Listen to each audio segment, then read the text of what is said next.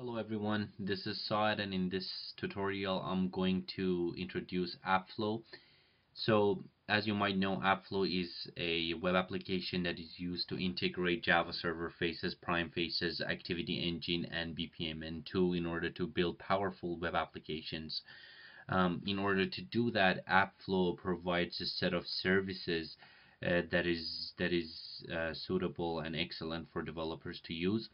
Uh, the very first thing that it provides, as you can see right here, is uh, it provides uh, developers with a sample Mavenize workspace. And what that really is, is that you can click on it, um, download the sample workspace, import it into your Eclipse environment, and it already has all the requirements uh, that you need in order to integrate JSF, PrimeFaces, and uh, Activiti engine.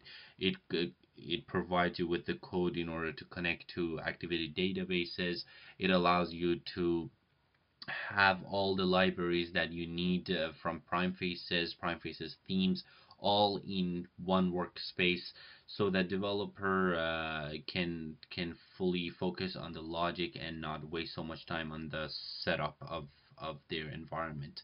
Another uh, neat uh, thing that it uh, provides is is that it provides you with Activiti database scripts. So every, uh, as you know, Activiti requires database scripts, and uh, uh, for every vendor there are obviously different scripts. And if you come here, you can you can select your uh, vendor and uh, download the specific script for for the database server that you have and um, that can save up your time as well.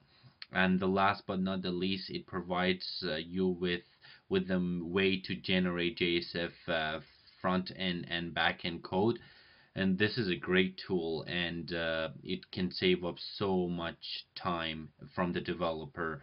Uh, these are usually the boilerplate codes and uh, JSF developers usually hate spending time on uh, generating uh, JSF forms so AppFlow uh, automatically does that. So you can come here and uh, select your page number uh, name uh, how many fields you would like to have whether you want backing bean code to be generated as well or whether you want the front end.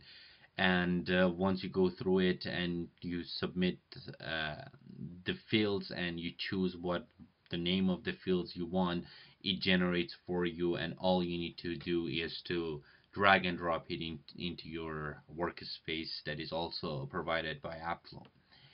Um, other than that, um, uh,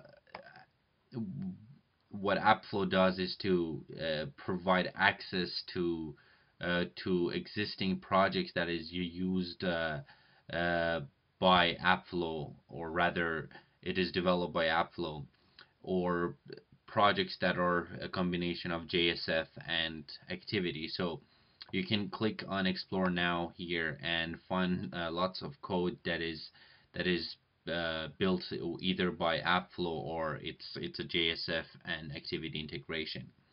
And finally, you can you can definitely use the tutorials that is provided for this web application in order to easily uh, use the website and navigate through it. So as you can see, it's a great web application. In the next series of tutorials, we are going to look at how you can build a web application with AppFlow.